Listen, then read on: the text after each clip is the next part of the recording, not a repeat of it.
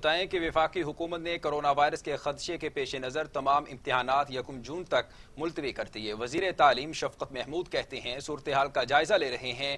Boards کے امتحانات یکم جون سے پندرہ جولائی کے درمیان ہو سکتے ہیں۔ امتحانات میں تاخیر کی وجہ سے یونیورسٹیوں میں داخلوں میں بھی تاخیر کر دی گئی۔ وفاقی وزیر تعلیم شفقت محمود نے پریس کانفرنس سے خطاب کرتے ہوئے کہا، یکم جون تک پاکستان میں کسی بھی قسم کے امتحانات نہیں ہوں گے۔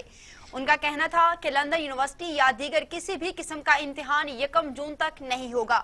بورڈز کے امتحانات یکم جون سے پندرہ جولائی کے درمیان ہو سکتے ہیں۔ امتحانات میں تاخیر کی وجہ سے یونیورسٹیز میں بھی داخلوں میں تاخیر ہوگی۔ شفقت محمود کا کہنا تھا کہ یونیورسٹیز کو تجویز دی تھی کہ ہاسٹلز خالی کروا لیے جائیں۔ یونیورسٹیز کے ہاسٹلز خالی ہو گئے ہیں۔ ہاسٹل خالی کروانے کی شرط غیر ملکی طلبہ پر لاگو نہیں ہوتی۔ غیر ملکی طلبہ کو ہاسٹلز میں محدود کر دیا گیا ہے۔ انہوں نے کہا پی ٹی وی سے بات کر کے دو تین چینلز حاصل کیے ہیں۔ ٹی وی کے ذریعے بچوں کو لیکچرز دیے جائیں گے۔ ٹی وی پر لیکچرز دینے کے لیے کمیٹی بنا دی گئی ہے۔ وفاقی وزیر تعلیم نے مزید کہا کسی تعلیمی ادارے میں اساتذہ کی آنے کی ضرورت نہیں ہے۔ طلبہ کے تحفظ کے لیے ہر ممکن اقدامات کریں گے۔ کرونا وائرس تیزی سے پھیل رہا ہے۔ حکومت کی اولین ترجیح ہے بچوں کو وائرس سے بچانا ہے۔ تعلیمی اداروں کی پانچ اپریل تک بندش کے فیصلے پر عمل ہوا۔ صورتحال کا جائزہ لے کر مزید فیصلے کیے جائیں گے۔ ستائیس مارچ کو صوبائی وزرائے تعلیم سے مشاورت کریں گے۔ انہوں نے کہا، لوگ ورثہ میں تمام کلچر پروگرام بھی منسوخ کر دیے گئے ہیں۔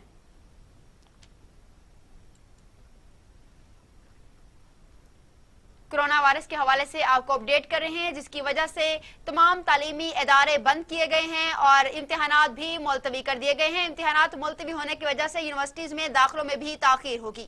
شفقت محمود کا کہنا تھا کہ یونیورسٹیوں کو تجویز دی تھی کہ ہاسٹل خالی کرا لیے جائیں۔ یونیورسٹیوں کے ہاسٹل خالی ہو گئے ہیں۔ ہاسٹل خالی کرنے کی شرط غیر ملکی طلبہ پر لاگو نہیں ہوتی۔ غیر ملکی طلبہ کو ہاسٹل میں محدود کر دیا گیا ہے۔ انہوں نے کہا کہ پی ٹی وی سے بات کریں گے، دو تین چینل حاصل کیے جائیں گے۔ ٹی وی کے ذریعے بچوں کو لیکچرز دیے جائیں گے۔ پی ٹی وی پر لیکچرز دینے کے لیے کمیٹی بھی بنا دی گئی ہے۔ یہ کہنا تھا وزیر تعلیم شفقت محمود کا۔